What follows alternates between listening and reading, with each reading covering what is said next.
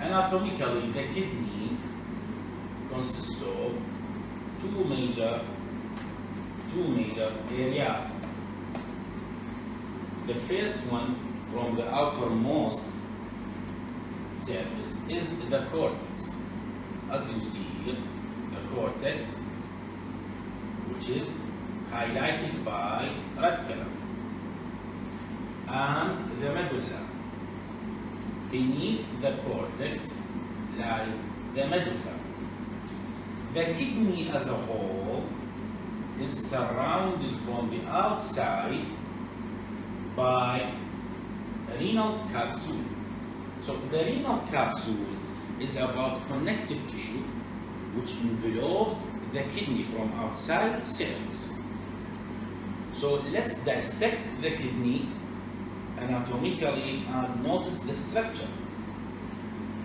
The first area beneath the cortex, sorry, beneath the capsule is the renal cortex, while the second area is the medulla.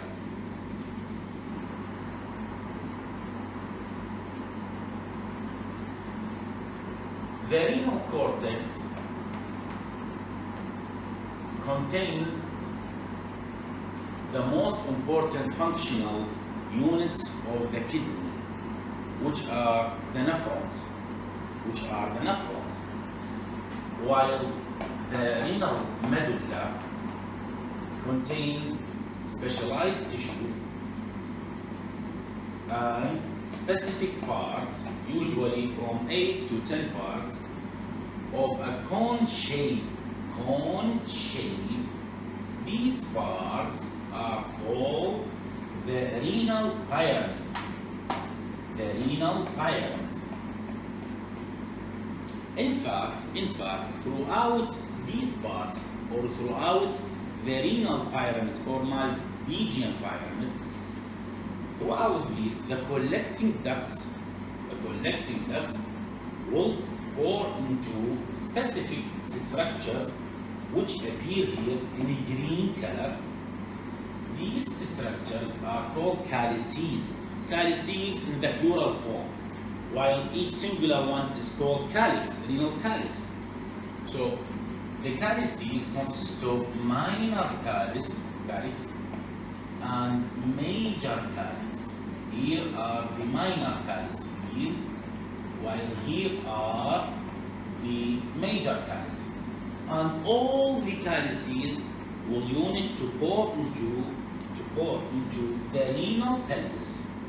Of course, of course, they will pour what the urine, the urine with its waste products, and throughout the renal pelvis, then the urine will flow into the ureter.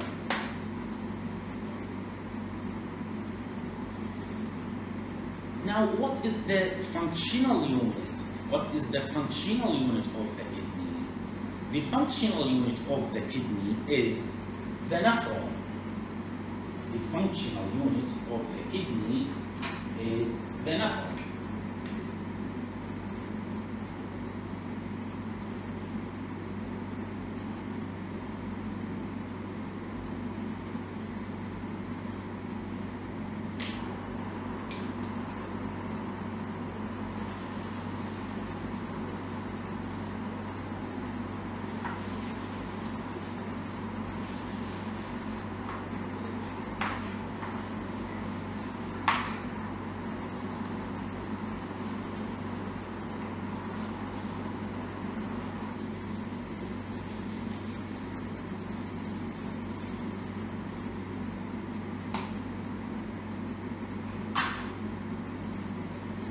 Before we merge into the major components, the major components or constituents or parts of nephron, uh, we have to pay attention or to remind together the major functions of the kidney.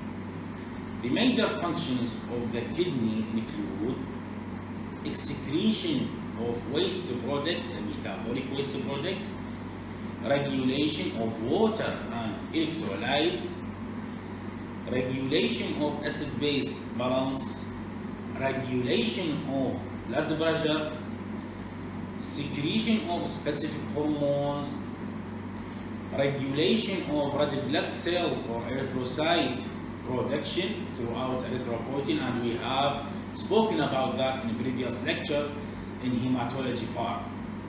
And in addition to all that functions, the kidney also perform to a lesser content, to a lesser content than the liver to uh, the gluconeogenesis. So, what is nephron?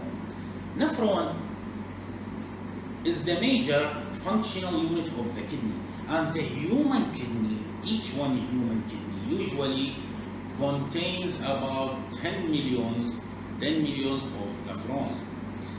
In fact, the nephrons themselves responsible for performing the filtration, filtration of blood, reabsorption of important substrates, molecules, water, and excretion of waste products. The parts of nephron.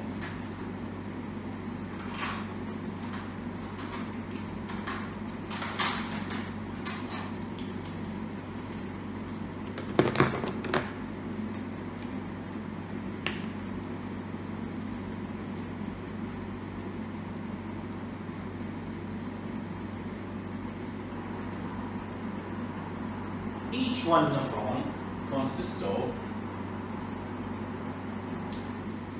the proximal convoluted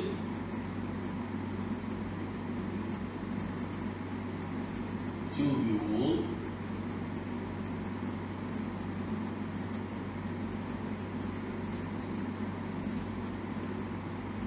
the loop of Henle, the distal